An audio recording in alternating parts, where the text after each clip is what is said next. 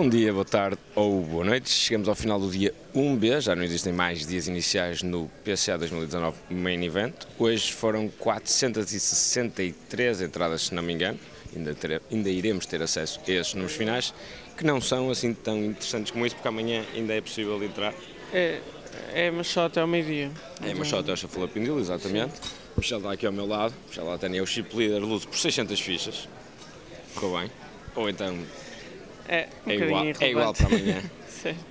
um, Dá-me o prazer de estar a falar agora aqui um bocadinho contigo, de poder perguntar como é que foi o dia de hoje, claramente melhor do que, de on do que o de ontem. Ontem não correu tão bem, um... cheguei duas horinhas ou três, talvez.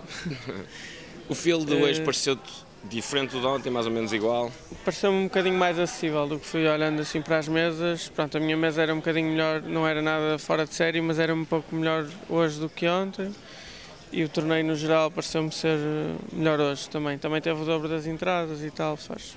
Ou seja, só para corrigir, quando tu dizes melhor, é em termos de mais agradável estar nas mesas, se fosse pior era mais difícil estar nas mesas. Exato, isso. Melhor, ah, bom para nós. Exatamente. Exato.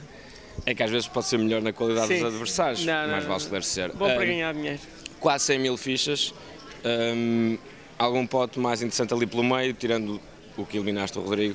Que Acho foi que esse, esse foi, sim, no fundo esse foi mais importante porque foi, tinha 50 mil fichas e foi para as 80, pronto, e vinha para as 20 se perdesse, né? Foi um pote trio-way, em que pronto, ele tinha trio, eu tinha flash draw. Achando que não te deu assim tanta satisfação como isso, eliminar o Rodrigo, eliminar o António já foi diferente? É sempre bom eliminar toda a gente, não é? Mas pronto, eliminar o Rodrigo é sempre aquela coisa. Esse aí tem. Exato.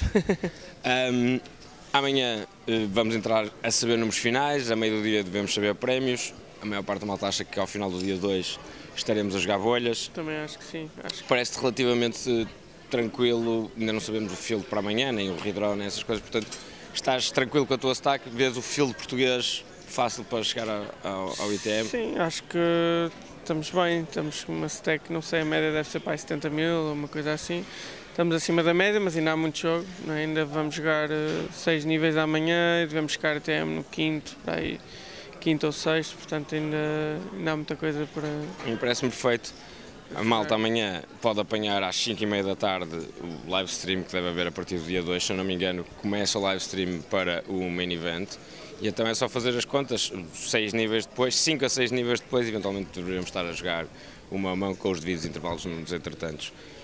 Um, Acho que basicamente é isso. Vamos esperar por amanhã. Temos 6 tugas hoje, 5 de ontem.